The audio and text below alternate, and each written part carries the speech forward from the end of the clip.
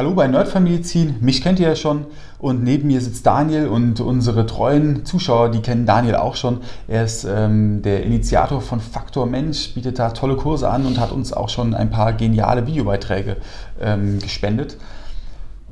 Bevor wir aber das Video beginnen, kann ich euch sagen, heute ist ein echt stressiger Tag. Ähm, es geht einiges rund, viel Improvisation und ähm, auch Daniel hat mir eben gesagt, dass auch er so ein bisschen am Limit ist. Ähm, Daniel, wie geht's dir? Ja, die Frage, wie geht's dir, ist ja eine Frage, die man in so einem persönlichen Kontext unter guten Bekannten oder Freunden sehr offen und ehrlich beantwortet. Das ist gar nicht immer möglich.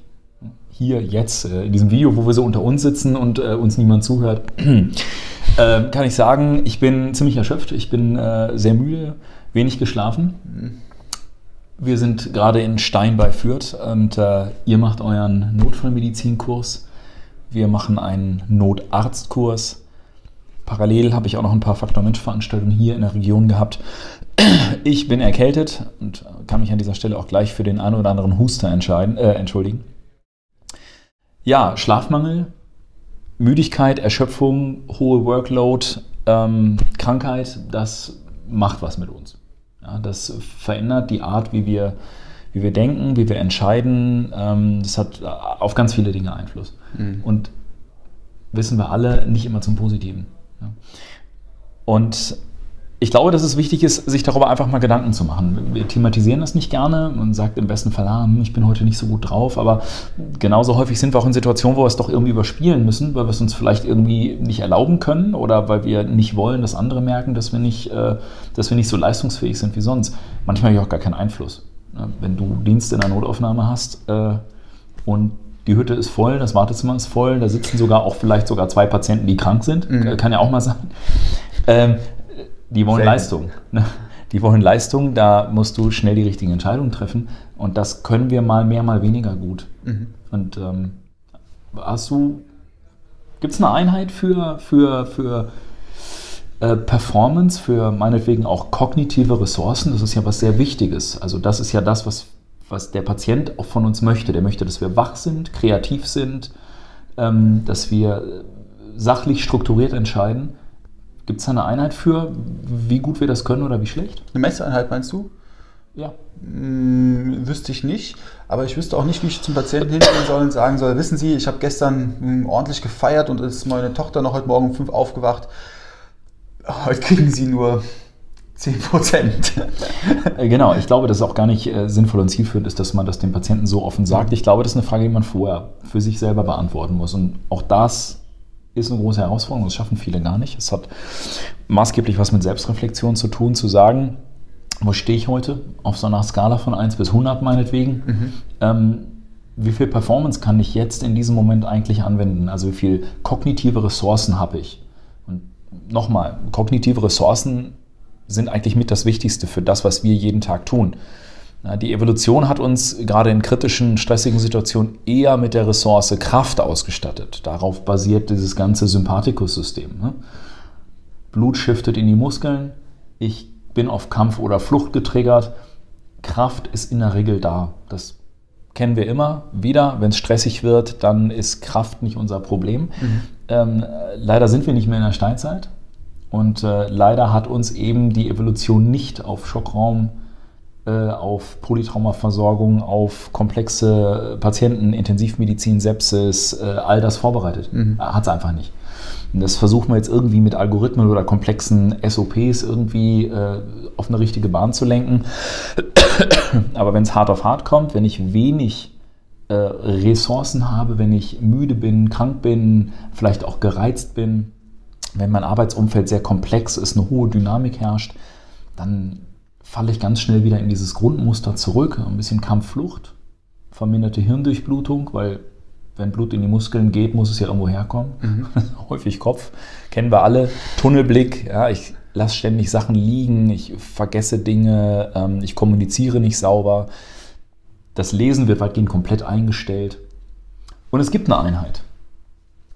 Das sind die grünen Kügelchen. Die habe ich doch schon mal in deinen Kursen gehört, oder? genau, ja, ich hoffe, du erinnerst dich auch noch ein bisschen. Also grüne Kügelchen ist eine, ist eine relativ äh, charmante Einheit, ähm, entwickelt von Andreas Richter, der ist Flugpsychologe, der macht sehr viele Kurse auch für die, äh, für die Luftfahrt, äh, wo es eben auch um dieses äh, Crew Resource Management geht.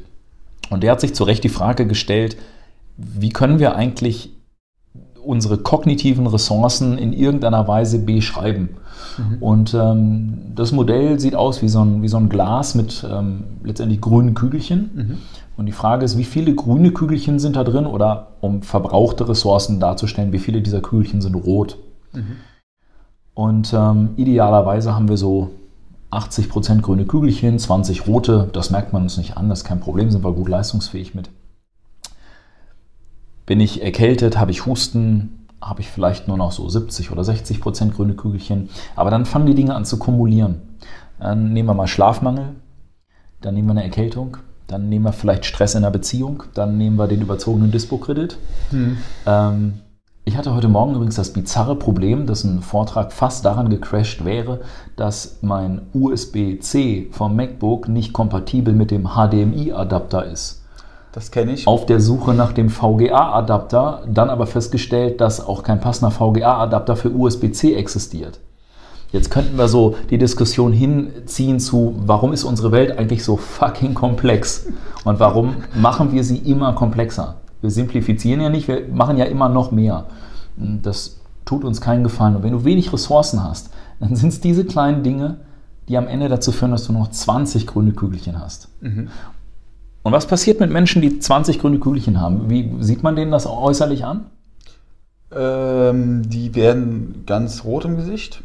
Die werden sehr dünnhäutig, sehr empfindlich, die platzen schnell, der Choleriker explodiert.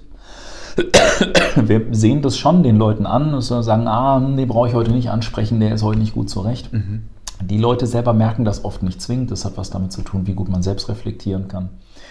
Aber ich glaube, dass diese grünen Kügelchen eine ganz brauchbare Einheit sind, um auch einfach mal auf eine ganz charmante Art zu sagen, pff, da habe ich jetzt einfach keine Kügelchen für. Tut mir leid. Also das ähm, überfordert mich jetzt situativ. Das mhm. hat äh, überhaupt gar keine Aussage über deine grundsätzliche Kompetenz. Mhm. Aber okay. wir können ja nicht immer 100% unserer Kompetenz umsetzen in Leistung. Das ist, glaube ich, jedem klar. Im Idealfall schaffen wir immer so 70, 80 Prozent Leistung, aber mit wenig grünen Kügelchen ähm, sind wir auch nur zu wenig kognitiven Dingen in der Lage. Also die kognitiven Ressourcen, repräsentiert über grüne Kügelchen, ähm, ermöglichen halt so Dinge wie kreative Lösungen erarbeiten, ähm, ein Stück weit Multitask, also der schnelle Wechsel zwischen verschiedenen ähm, Aufmerksamkeitsdingen das kann ich natürlich deutlich besser mit vielen Grünkügelchen und äh, deutlich schlechter mit wenig. Das sind alles so Dinge, ähm, die wir ein Stück weit berücksichtigen müssen. Und ich glaube, da müssen wir auch einfach lernen, mal zu uns ehrlich zu sein, zu anderen ehrlich zu sein und zu sagen, jetzt, hier und heute kann ich das jetzt nicht. Morgen bestimmt wieder. Okay, hier kam gerade einfach jemand in den Raum reingeplatzt, deswegen äh, waren wir vielleicht kurz verwirrt wieder zwei grüne Kügelchen in den Wind. Genau. ja, also abschließend vielleicht, äh, wir wollen das Video jetzt ja auch nicht auf eine Stunde ausdehnen. Ähm, was mache ich jetzt damit konkret? Ähm, wie verliere ich grüne Kügelchen und, und wie kriege ich sie wieder? Das, das, ist entscheidend. Also das ist so eine Frage, die jetzt auch für uns ganz relevant ist. Wie schaffen wir es über den Tag? Weil viele Menschen wollen, dass wir Leistung bringen. Wir haben, ihr habt Teilnehmer, wir haben Teilnehmer. Ähm, die haben gutes Geld bezahlt für einen guten Kurs und die wollen jetzt auch nicht irgendwelche müden Vögel da vorne sitzen haben, sondern die wollen ein bisschen was geboten kriegen, die wollen, dass wir, dass wir neue, frische Sachen eben bringen. Und das kann man auch nur mit ausreichend grünen Kügelchen. Und das ist recht profan. Ich muss mir halt mal eine Pause gönnen. Ich muss mal einen Kaffee trinken, ich muss mal ein nettes Gespräch führen. Und vielleicht haben wir im Vorfeld gedacht, dass das Video jetzt für Nerdfilmmedizin auch nochmal so ein Ding auf der To-Do-Liste ist, was auch noch mehr grüne Kügelchen frisst. Aber weißt du was? Ich kriege grüne Kügelchen durch sowas. Mir macht das Spaß. Ha, das ist toll. Ich gehe hier mit mehr grünen Kügelchen raus, als ich reingekommen bin. Und ähm, ich glaube, das ist ein ganz guter Weg. Einfach mal zu sagen, hey, gutes Gespräch, ähm, mal einen Austausch machen, aber natürlich auch diese ganz klassischen Dinge, Powernapping, ähm, was essen, sich vielleicht mal rausnehmen aus einer Situation, was wegdelegieren. Ne? Delegation ist ein unglaublich wichtiges, mächtiges Tool, um seine eigenen Ressourcen zu schützen. Müssen wir immer auf die Grenze zur Faulheit achten? Also jetzt nicht alles wegdelegieren, damit ich immer schön 80 grüne Kügelchen habe und alle anderen nur 10. Das ist auch nicht zielführend. Das Chefmodul. Genau. Man muss einfach ein bisschen auf sich aufpassen. Dass, wenn wir es jetzt noch weiter eskalieren, dann können wir über Work-Life-Balance sprechen, über Stellenreduktion, über, ähm, ja, das ist ja so ein neuer Modebegriff, diese, diese Achtsamkeit. Ja, das fließt alles ein Stück weit da rein. Im Grunde genommen ist es die Pflege unserer grünen Kügelchen, unserer kognitiven Ressourcen. Ich glaube, da muss man einfach hin und wieder drüber nachdenken. Sehr, sehr richtig, kann ich nur zu 100% bestätigen. Auch, ähm, dass das Gespräch uns schon grüne Kügelchen besorgt hat, kann ich nur von meiner Seite aus auch sagen. Ähm, Daniel, vielen, vielen Dank. Ich freue mich extrem, dass wir immer wieder die Möglichkeit haben, mit dir coole Videos zu drehen. Ähm, von eurer Seite aus, wenn es Fragen gibt, unbedingt stellen. Bitte teilen und liken. Schaut euch mal äh, Faktor Mensch an. Sehr, sehr empfehlenswert. Und jetzt gehen wir wieder zurück in den Trubel der Kurse, oder? Jetzt geht's wieder los, aber ich habe jetzt voll Bock. Ich auch. Okay, tschüss. Ciao.